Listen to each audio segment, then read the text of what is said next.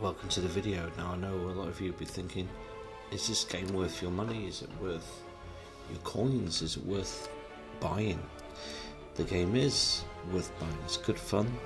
It's turn-based, as you well know.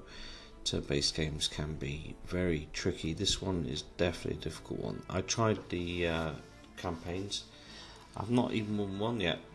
it's embarrassing, but I'm slowly getting used to it. I haven't really put much time into the game itself. I've probably played a few hours just to get a feel of it. But there's a lot of homework that needs to be done before I start really uh, kicking ass at this game. But I don't mind because I'm having a lot of fun with it. It's pretty good. The graphics are very quirky, very um, very gothic in style. I think very dark, very, very, very quirky game. You know, I do like the art style. Plague Road was one of my favourite games on the Switch, and when I saw this game coming, I knew I had to have it, and thankfully the publishers uh, dropped me a line and uh, let me uh, have a game code to try it out. So, is it worth playing? Yes. Is it worth buying? Definitely. Gotta give it a go. I wish there was a demo so everyone could try this, because this game is pretty good. It's just well crafted, well made, plays pretty smooth, no issues at all but I'm going to let the gameplay speak for itself. My honest quick review on this game, uh, well, you know, I could go into depth about the shortcomings of the game, but it doesn't matter because it gets more complicated and difficult. But when you start earning the perks later on in the game, which uh, you do uh, by completing missions, uh, it does get easier. But the difficulty level does ramp up, so don't worry about it this challenge is still there. It's not a cakewalk. It doesn't hold your hand too much, and it's really, really a hidden gem. I hope this game does well because it deserves to because it's a good game.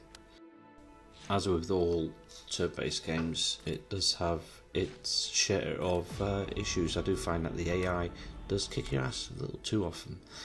They are smart and clever, and that's it's not a a negative, it's a positive because I do like a challenge. It makes me want to play the game again because I think, oh hell, I lost that by making stupid decisions. Here I knew I had to attack these buildings using the uh, soldiers, you know, to take out any blimps. Now blimps can be taken down by infantry, tanks can be taken down by blimps and aircraft, submarines and stuff like that. And soldiers can obviously take down planes quite easily, but not so good at armour. So yeah, tanks and mechs versus people, blimps and everything against tanks and armoured vehicles, and so on. And of course, you have your lead character, the lead enemy as well is a rat. Unless you're playing a different uh, campaign, there's quite a few campaigns in this. There's plenty of replay value because they're all different, all have their um, little quirks, and of course, there are uh, several new um, units to unlock the further you progress in the campaign. And there's loads of perks. I haven't even started with the perks, but I can't wait to start earning them. So I'll be playing this as much as I can tomorrow as well because it is a real addictive game. The graphic style, as I said, is very quirky, very cool and classy, but you know, it's, it's, it's just trying to be something different and it does that very well. So if you're thinking of picking up the game, pick up the game, and I will see you soon with another video. And yeah, let me know in the comment section what you actually thought of the game, if you like it, if you enjoyed the gameplay. I appreciate that, because I didn't enjoy it when I was getting killed. But yeah, it's it's fun. Go out and get it. And I'll see you soon with another video, and yeah, thanks for watching.